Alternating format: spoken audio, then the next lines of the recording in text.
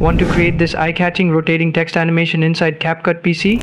Hello guys and welcome back. In today's tutorial, I'll guide you step by step on how to create this smooth and professional rotating text animation. So without further ado, let's dive right in. First, open CapCut PC and import your background clip. This will be the foundation for your animation. If you're looking for high quality background clips or other editing assets, you can find them on my WhatsApp channel.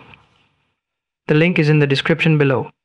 Now, bring in a new text layer by clicking on the text tool. Type out the text you want to animate.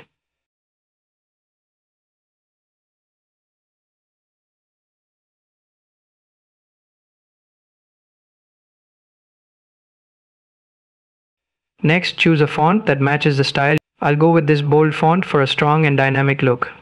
To make your text pop, let's add some effects. Go to the text settings and apply a subtle glow and a soft shadow. These enhancements give your text a polished and professional appearance, making it stand out against the background.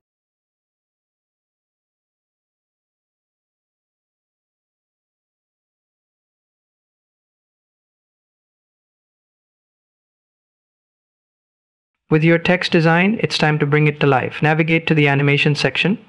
Head over to the loop section and look for the rotate animation. Apply the rotate effect to your text.